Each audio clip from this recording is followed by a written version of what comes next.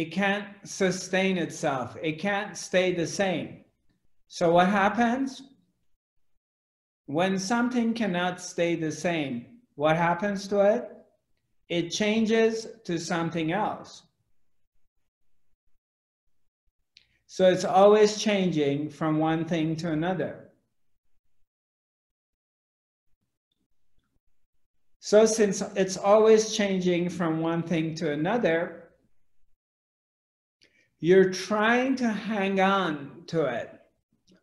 You're trying to hang on to a permanent situation, a permanent relationship, a permanent marriage, perfect marriage, a permanent work relationship, business, children.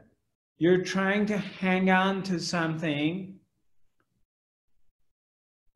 especially when it's good. You want to keep it good in that way. And you do whatever you, you can, but then what happens?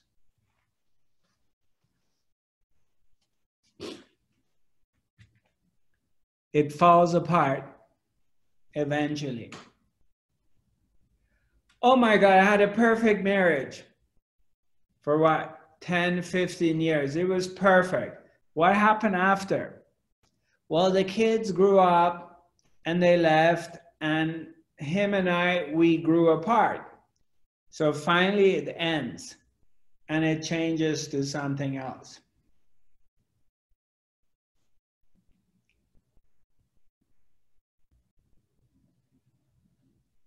No matter how hard you're trying, you can't make it.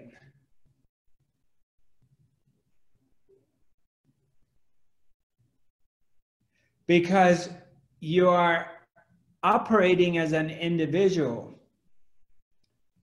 I wrote it in my book, uh, Lightning Notes of Zarathustra. It says, no matter how fast, how slick, how quick you're moving as an individual, you're always on the palm of the one who moves as a field. The one that moves as a field always has an advantage over the one who moves as an individual. Imagine you're running on, on a football field and you're very fast. So you can get from one end of the football field to the other in just seconds. You're the fastest ever existed. So you're you're running on this field. You're running from here to here.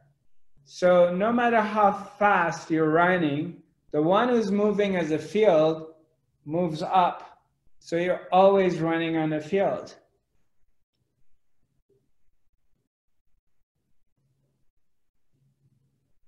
The one who moves as a field has complete advantage on the one who moves as an individual.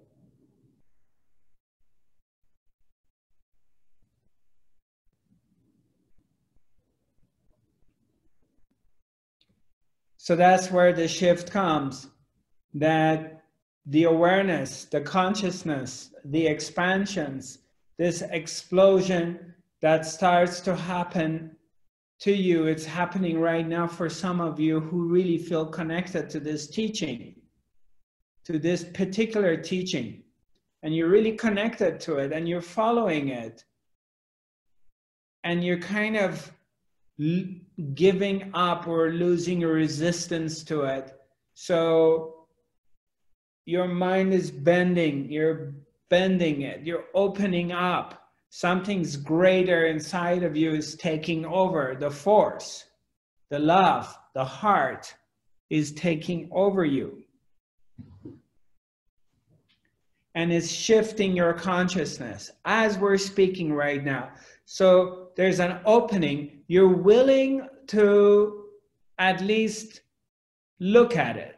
You're not maybe following it. You're not listening following blindly or you're you're open you're like okay what if I don't exist as a separate individual? What if everything I've learned up to now is wrong? This is not it. What if this man, Zarathustra, what if he's right? Why don't I give this a try? See what happens. So, what if I don't have free will? Let's examine that part. Let's examine the advantages of not having free will. So the mind, so you went beyond the mind. The mind is going crazy, is throwing all these things at you to stop you from doing it. And now you're going beyond the mind. And now you're examining it. Okay, you don't have free will. Nothing, zero. So whose will is this? It's the existence, is the oneness. God is operating through you. Okay, so Zarathustra, how am I going to pay my bills? How am I going to take care of my kids? How am I going to eat? How am I going to pay my rent? How am I going to pay my car mortgage? Well, you are not responsible. So, who brought you to this life? Who's carrying you? Who's feeding you? Who's giving you air to breathe? Who's giving you water to drink? That one is responsible for your well being. Can you let go in that? Can you sit back? Can you just relax into that? Because you're, oh, oh, oh, I don't have free will. What's going to happen to me? Oh. So, can you just take a deep breath and oh, relax into it? And looking at it from that point of view.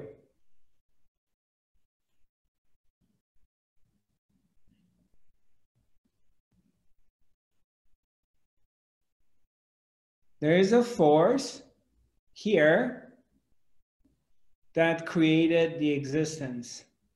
Before you were born, who was running this world? Who's been responsible for the creation? For millions, billions of people that were born, came to this life before you were born, who was in control of them? Who was responsible for them? Who brought them to this world? 2000 years ago when man existed they didn't have a dentist they didn't have doctors. If you broke your leg you had to live with it all of your life. Your teeth would fall and decay. If you had a headache you had no aspirins for it. 2000 years ago who managed life that carried humanity slowly, slowly, slowly to this point. Who's been responsible for it? Who fed all of these people? Who taught them how to do agriculture, how to hunt? Something taught these people, some information, intelligence was handling it.